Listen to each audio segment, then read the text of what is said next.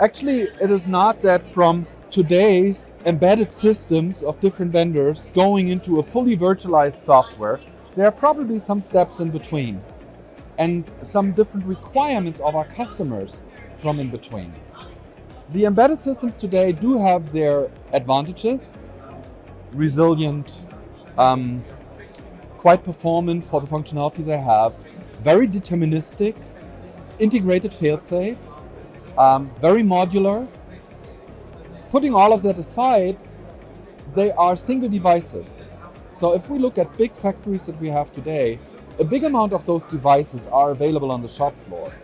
And we are already today virtualizing, for example, like years ago, we started to virtualize clients and servers of HMI and distributed control systems. So, so the advantage of that for our customers was they are all bundled in one hardware. They are virtualized, so they are independent on what happens on the operating system. You can administrate the operating system of a cluster where those functionalities are virtualized separately from the main functionality. That makes it a lot easier to administrate those functionalities over time, especially in regards of patching for cybersecurity, putting additional functionality into, into operation and into the installation. So it is a logic requirement of our customers to say, hey, how can you help me to get that benefit of virtualization also for the control functionality? Now, of course, it depends on what are the other requirements of our customers. For example, if we would talk about a water, um, a water system, a water network, maybe not so time critical, maybe deterministic, not so necessary, maybe no need for failsafe, much more easy, much sooner. We already have started to do that.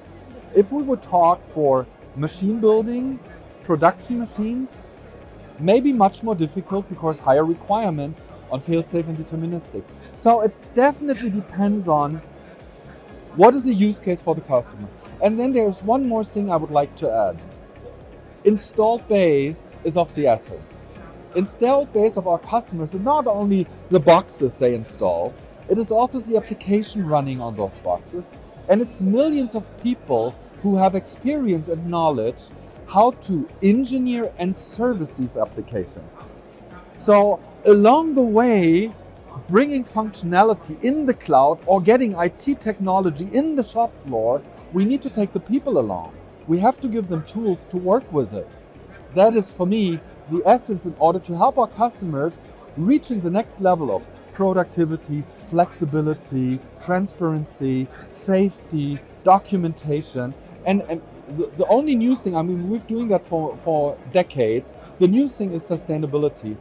And digitalization in the shop floor can even help us to work on digitalization, on, on sustainability.